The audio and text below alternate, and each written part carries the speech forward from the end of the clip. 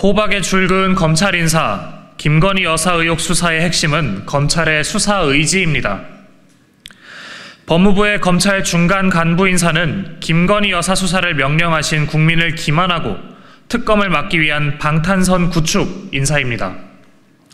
법무부는 업무 연속성 유지를 강조하며 김건희 여사 수사를 맡은 서울중앙지검 1, 2 부장검사를 유임시켰지만 구색 맞추기에 불과합니다.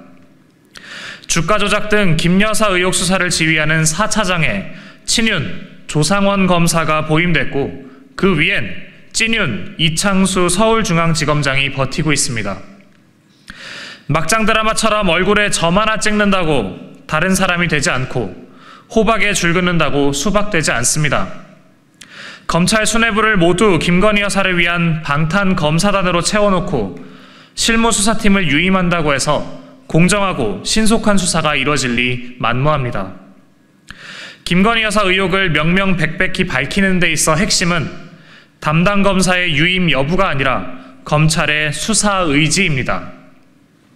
디올백 수수 의혹과 관련해 김건희 여사 사무실 CCTV 영상, 방문자 명단 등 기초적 물증도 확보하지 않은 검찰은 이미 수사 의지가 없음을 천명한 것입니다.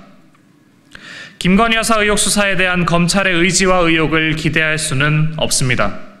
결국 답은 특검뿐입니다.